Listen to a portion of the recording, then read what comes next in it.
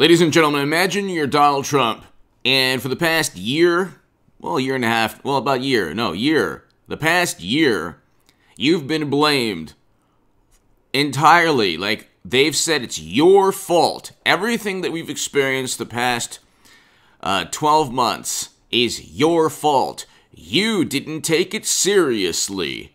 You slept. Uh, you fiddled while Rome perished. You did all of these things. And now you have Andrew Cuomo, who's not only whose skeletons are coming out of the closet, just like the Lincoln Project. So there's a like a list of political rivals that have just completely imploded and become absolute dis- absolutely disgraced. And we knew, like, the Lincoln Project was a disgraced organization even before this year.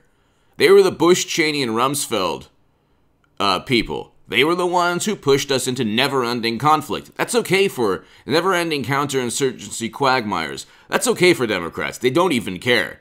If you tell somebody, hey, I'm voting for President Trump because he, want, he wants to remove Americans from a certain region of the world, they, don't, they simply don't care.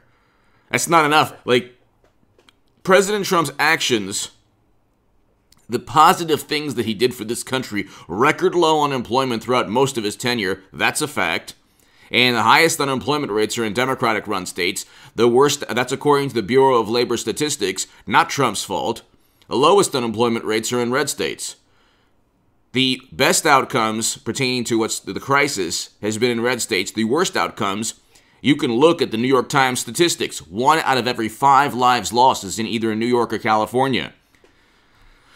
But you have Schumer and Gillibrand and de Blasio, but you had de Blasio the other day. You have Schumer and Gillibrand calling for Cuomo to re- resign. Think about Trump now. His direct political rival in Andrew Cuomo, well, his direct political rival in Clinton purchased a dossier that the United States government used under President Obama to frame and set him up and frame and set up everyone around him. But and that that dossier, by the way, never had disclaimers on Twitter. Oh, this is a disputed claim. Anyway, hit subscribe to this channel really quickly to my new Patreons. Thank you. Your support is so greatly appreciated. So thank you so very much. If you want to support my voice long term, my Patreon is below and in the description section and on hagoodman.com. You can read my writing in The Hill, The Huffington Post, Salon, The Jerusalem Post, The Federalist, The Daily Caller, other publications, The Roanoke Times. You can see my debates there. I'm working on something really special, and so uh, I'll, I'll unveil that, release that very soon. You will love it. Um, let's read this right now. Top Dems call on Cuomo to resign amid allegations. it's interesting, too, because the 15,000 lives that are lost because of his decision making and the decision making of Whitmer in Michigan, there were uh, thousands of lives linked to sending infected people into elderly care facilities and facilities that help disabled Americans. So, um, where was the outrage or scrutiny? It's interesting because there's no more outrage anymore. Now Democrats are just mired in this Twitter fueled cyber reality um, obsession with ideas that wouldn't even gain traction outside of Twitter or the internet or, you know, social media. But anyway, that's a whole other story. They don't have Trump anymore to blame. He's not on Twitter. President Trump must never he should never again get on Twitter. You watch. They're going to they're going to say, "Oh, the ban's over. You can get back on Twitter right before midterms." Don't do it. It'll be a trap. My God almighty, it will be the worst thing ever because look what's taking place now. If Trump was still on Twitter, we might not see this with Cuomo. You have a top Democrat in uh, in in in in uh, New York somebody who's very courageous, Ron Kim, who first went up against Cuomo for all the lives lost in the, uh, in the elderly care facilities. Cuomo, Whitmer, uh, Wolf in Pennsylvania, Newsom, and Phil Murphy all put infected people into elderly care facilities. So, how do you get away with this? Well, you have to be a Democrat first. Media will not go after Democrats until until the allegations are seven people. Then they say, well, Trump has 26. Yeah, okay. Not one person, not one person filed a police report. Pre- uh, president Biden, our wonderful president, uh, very awesome and uh, energetic and fantastic man. He he had a police report filed against him, okay, at a police station. And the New York Times said, well, you know, if you file a report and it's not true, you could be in big trouble. It's like, yeah, way to believe. I mean, you're talking about oftentimes the most hypocritical, disingenuous, duplicitous uh, people. I mean, they're really political. like if you're if you live your life and you're an ideologue on the left, anything goes. So you'll you'll actually how many people, how many wonderful, morally superior, righteous liberals bought Andrew Cuomo's book on leadership lessons? If you bought his book on leadership lessons, that says something really wonderful about you. He has a book on leadership lessons, and there are 15,000 lives directly linked to his decision making. You cannot link you cannot link any decision Trump made to lives being lost. On a federal uh, he's the president of the united states of america. They say they, they keep saying oh he said it would be over. He said it would be over. Yeah cuomo said the same thing. He said even worse.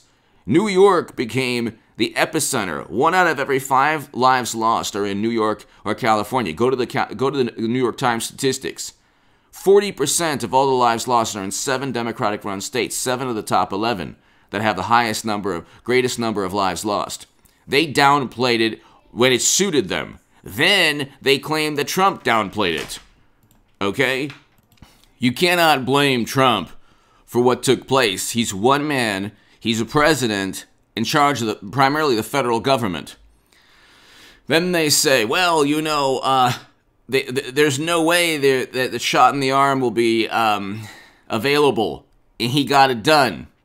Okay? He got it done now everyone's taking, okay, and just I'm trying to be algorithmically friendly. You never know nowadays. You say one word and it's a big problem, but they're taking it and you know, I'm going to take it, you're going to take it and so then well you don't you don't you don't thank Trump? Then they say, "Well, he didn't have a plan to distribute." You think that at that you think that any Democratic governor would listen to Trump, even if that were true, which it probably isn't. You don't think Democratic governors would complain about something Trump is doing? Not, literally nothing the man did. From Operation Warp Speed to being the first president to step foot in North Korea to really reversing U.S. foreign policy. That's why I voted for Trump. I'm a former lefty. I used to be the biggest Bernie Sanders booster on the internet, according to the Huffington Post, the unofficial scribe of Sanders' most hardcore voters, according to the Washington Post. You could see, you could see the, the links on hagoodman.com, but I'm going to vote for anyone who wants to bring Americans home from never ending counterinsurgency conflicts. We should not be sending American men and women off to never ending quagmires and conflict. That is not a concern of Democrats or morally superior liberals on Twitter. Okay? But you notice, ladies and gentlemen, it's a, it's, my, it's a concern for me, which is why I voted for President Trump. Trump removed Americans from numerous countries, uh, set an end date, negotiated for an end to our involvement in a country we've been in for 20 years, May 1st, 2021.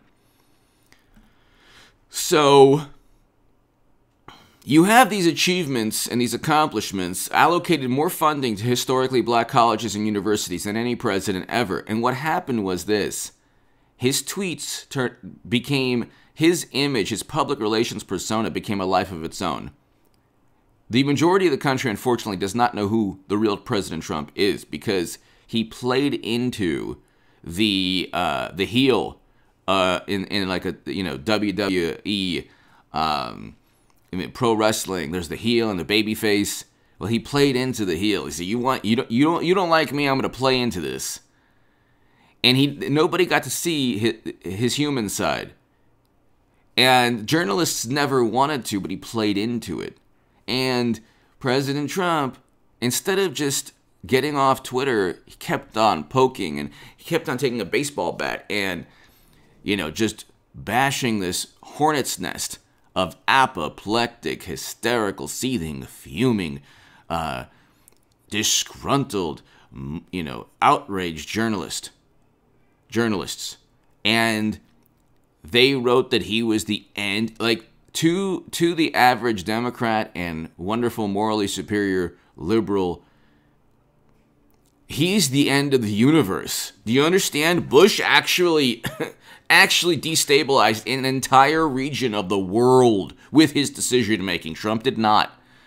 Trump presided over the Abraham Accords, which is the beginning like a roadmap towards peace for one region of the world. You might, if you're on the left, you might say, well, that's not the roadmap we want. Well, it's still a roadmap towards peace. It really is. You ask the countries. Peace between Israel, UAE, Morocco, uh, Bahrain. Okay, the diplomats within those four countries know a lot more about, you know, peace within that region than a left wing activist. That's a whole other story. Of course, things need to happen for, for there to be long term peace, but anyway, you're looking at, ladies and gentlemen, a. You're looking at. Oh, by the way, hit subscribe, and oh, I said I, I think I said also I'll have a live stream later this evening. So, to my 11 minute crowd, I will have a live stream later this evening, probably around 8 or 9 p.m. tonight. So, be there. But you look at Cuomo, his decision making was horrendous. He's now. this is a political victory and a triumph of epic proportions for Trump, which really, it's not. He didn't have to do anything. Once Democrats are left, like, to just look into the mirror they don't have Trump to rally against. They don't know how to govern. Okay, this stimulus is not a victory. It is not. They they run Congress, so it's not a victory. the stimulus is not a victory at all. Why? You tanked your economies because science, and you had the worst outcomes in terms of the pandemic, according to the New York Times statistics. In seven states, 40% of the lives lost. We have 50. We have 50 states. We have 320 million Americans. This this crisis was serious, but it consumed everyone's entire being and it and and there was a there was let's put it this way there were considerations other than just saving lives. I'll leave it at that. Because you don't see you see democrats now talking about eventually opening up and it's like wait a second. No texas is already opening up and they've done so much better than New York and New Jersey and Michigan and Illinois. So, and Florida has done even better than Texas. And yet, and yet, DeSantis doesn't get the credit that Cuomo gets for actual horrendous decision making. Go look at the New York Times statistics. You tell me the top four highest per capita rates are Democratic run states, with New York and New Jersey leading the entire country. So when Jonathan Swan said, well, as a country, we're not doing as good in per capita rates. Well, yeah, that's because I mean, Trump either didn't want to disparage certain governors or he just didn't have the data in front of how New York and New Jersey, well, New York, two of the most populous states.